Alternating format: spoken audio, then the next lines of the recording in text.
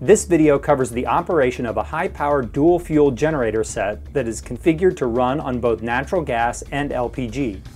High-powered dual-fuel generator sets automatically switch to LP when the natural gas pressure drops below 9 inches of water column.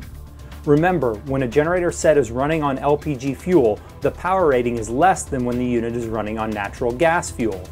LPG power ratings are lower than natural gas ratings for the same engine consult the datasheet for the rated power.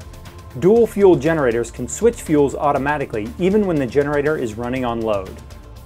Note the NG fuel connection is the larger of the connections with the blue cap.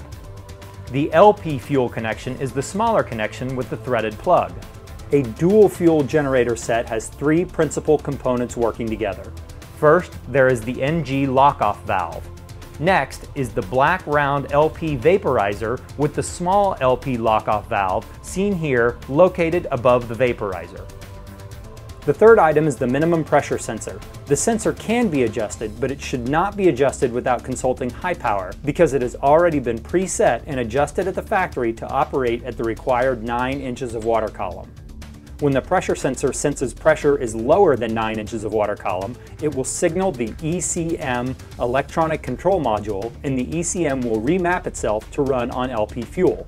Simultaneously, the LP fuel valve will open and the natural gas lockoff valve will close. To recap, the high-powered dual fuel generator sets have three principal components to enable dual fuel operation.